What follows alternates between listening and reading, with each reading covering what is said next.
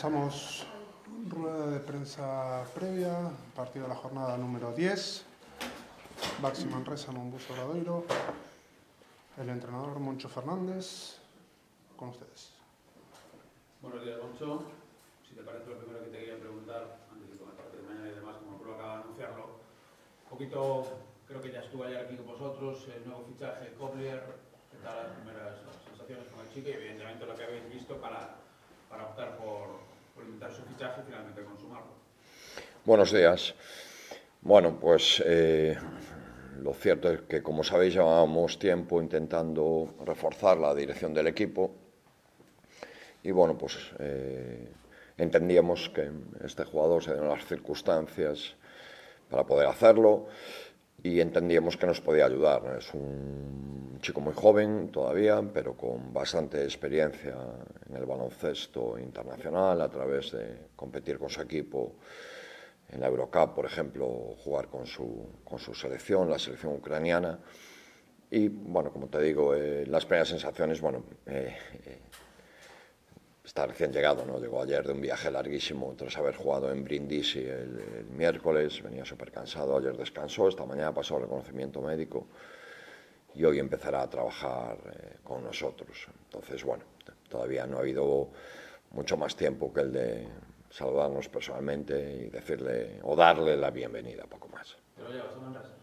Sí, viajará con el equipo, sí, viajará con el equipo para, bueno, pues conocer cómo son las rutinas del equipo, adaptarse, entender, eh, bueno, cómo funcionamos y, y la manera, o en la medida de lo posible, empezar a trabajar en su eh, adaptación, porque, bueno, es un, va a ser un trabajo arduo y, y largo como, como siempre que es subirse a un, a un, tren que ya va en marcha, ¿no? como es el equipo ahora mismo. Eh, bueno, entiéndeme, entiéndeme, la pregunta, ¿no? Viene un poco recomendado también, habréis hablado con Arten, compañero de selección, ucraniano también, un poquito, pues, unas referencias un poco más en lo personal, seguramente, ¿no? Porque que le habréis preguntado a. Por sí, lógicamente le hemos preguntado a Arten por cómo es eh, el jugador, sería, sería ilógico ¿no? No, no hacerlo. Y bueno, pues todas las referencias han sido muy buenas, como un jugador muy profesional, eh, un buen chico, eh, bueno, pues cumple el perfil humano que siempre buscamos en, en Obradoiro y técnicamente también creemos que aunque es un jugador en, en, progresión absoluta debido a su juventud, pues que nos pueda ayudar, ¿no? Ese es el objetivo. Por lo demás, ¿qué tal ha ido la semana? ¿Algún problema o todos, todos bien? No, con normalidad, con normalidad. Hemos tenido una semana eh, tranquila, eh, Howard sigue con su trabajo de reincorporación, que como bien sabéis, bueno, pues apenas había entrado dos días antes de la disputa del partido del, del domingo. Eh, Rigoberto también sigue trabajando al margen del grupo con, con Rubén en su, en su recuperación y, y, por lo demás todos bien.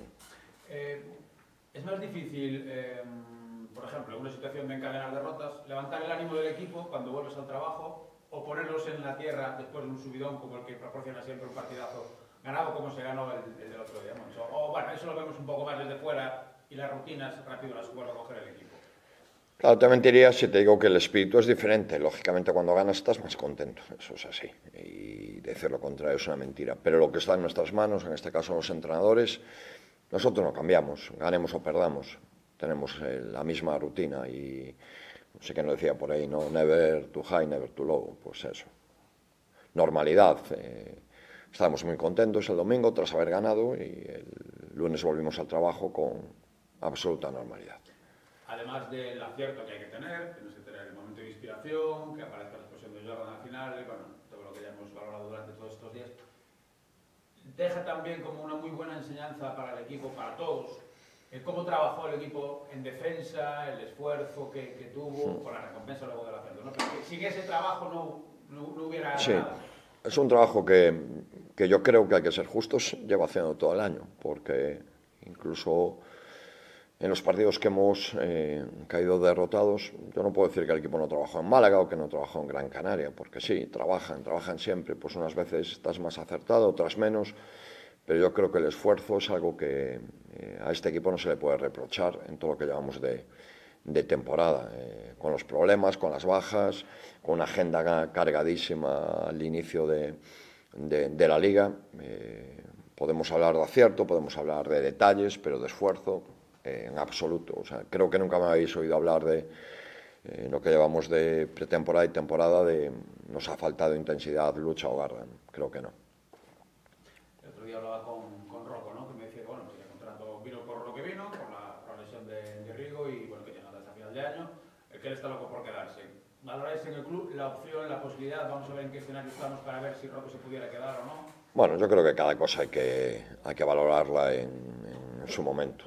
Como ya te dije la semana pasada que me preguntaste, eh, la adaptación había puesto muchísimo de su parte para hacerlo, integrarse.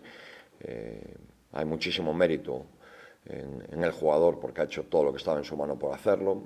Ahora mismo, pues eh, parece que lleva con nosotros un, montón de tiempo y estamos muy contentos con él y las valoraciones habrá que hacerlas en, en el momento apropiado, ¿no? Todo lo que sea ahora será especular. Seguro que no estoy equivocado, o creo que no lo estoy, si digo que a ti no te sorprende ver a Manresa está, ya el partido. No, por supuesto que no, porque es un Manresa muy reconocible, es un Manresa que no escatima esfuerzos nunca, es un equipo eh, que desde unos años para aquí tiene una filosofía clarísima, con un estilo de juego, como te decía, muy reconocible, muy, muy, muy, muy rápido, es un equipo que juega muchísimas posesiones y que en todo lo que tiene que ver con el esfuerzo siempre están, siempre están muy bien. Entonces, para ganar la Manresa lo primero que tienes que hacer es igualar eso. Y cuando hablo de esfuerzo, hablo de balance defensivo, hablo de rebote, por eso uno de los mejores equipos en el rebote de ataque de, eh, de la liga.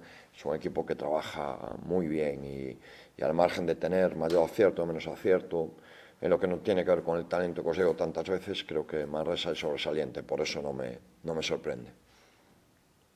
Moncho, yo quería preguntarte no, por el nuevo fichaje, por Coble, tiene un jugador joven, eh, en contraste con el jugador que será, tiene un jugador con más experiencia, y es un poco saber qué cosas distintas va a aportar Coble en relación a lo que aportaba Eric Washington, y también saber un poco cómo va a quedar esa rotación de bases, sabiendo aún tiene que entrenar más Coble, adaptarse y demás, pero si un poco Zurbriggen va a seguir teniendo la importancia que tiene hasta ahora, porque creo que ha tenido un papel muy importante, y cómo queda un poco la situación de Pozo.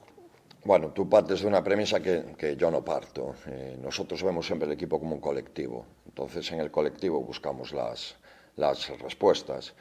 Y eh, como, te, como le he dicho a Toño al principio, lo, lo importante es eh, la dirección del equipo. ¿no? La dirección del equipo ahora mismo estaban Paul y Fernando y cualquier problema que pudieran tener pues nos iba a significar un gran problema para el equipo. Por eso llevamos tanto tiempo intentando reforzar eso, el colectivo de la, de la dirección y lógicamente lo que va a pasar de aquí al, futuro pues eh, se verá, pero Fernando está jugando muy bien, Paul está jugando muy bien, Coblear acaba de llegar, no sabemos todavía lo que nos puede dar y lo que no, entonces anticiparme a, a lo que va a ocurrir pues es, es difícil, porque cualquier problema, una lesión, eh, un tobillo, cualquier tontería, pues ya hace que los, que los roles cambian. Lo que hemos conseguido con Sasha eh, es reforzar esa dirección del equipo. Ahora mismo lo importante para él es integrarlo dentro del equipo, porque va a tener que hacer un esfuerzo enorme por, por hacerlo. Y, y, y, eso, y pensar en él como, como lo que es eh, no el sustituto de, sino un refuerzo para el colectivo. Pero en relación con las distintas capacidades o lo que aporta cada uno, con Washington, que era un base de una bajas, es un un poquito más alto, es un poco saber qué os llamó la atención de Cobleas, si es también anotador, si es su capacidad de dirección, un poco qué esperamos de, de este chico, qué es lo que os llamó la atención para decir, este es el base. Bueno, pues mm, como me remito a la nota de, de Eduardo, un jugador con un físico muy bueno, que creemos que sin ningún problema le, va a permitir jugar en, en, esta liga, un jugador en progresión, con capacidad de pase, con capacidad de, de anotación, eh, bueno, pues con experiencia por, por haber jugado con su selección. Entonces, bueno, pues al corto plazo esperamos que nos aporte esto, pero eh, como bien sabes no son cromos, entonces hay que verlo dentro del del colectivo, su capacidad de adaptación a nuestro estilo, al juego, a la liga. No es fácil cuando eres joven, eh, cuando bueno, pues sales de casa y, estás solo, son, son muchos factores que, que, bueno, el tiempo nos dirá y el tiempo nos dirá qué puedo hacer. ¿no? Y, y luego es evidente que el conocimiento de los jugadores no es lo mismo cuando tú analizas a un jugador por imágenes o en partidos en, en, en directo, ¿no? como fue el caso de Sasa en, en Turquía, sino que tienes que entrenar con él y ver cómo interacciona con el resto de los compañeros, cómo, cómo cambia su rol, porque viene a tener un rol importantísimo en su equipo y aquí su rol va a ser diferente. Bueno, eh, todo esto nos lo dirá el tiempo, entonces ahora mismo es un poco conversación muy especulativa, ¿no? Dentro de, de unas semanas, pues veremos qué es lo que puede aportar.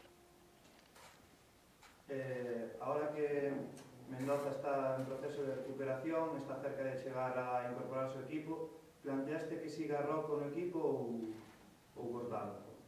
Pois acabo de respostar esa pregunta, vos días.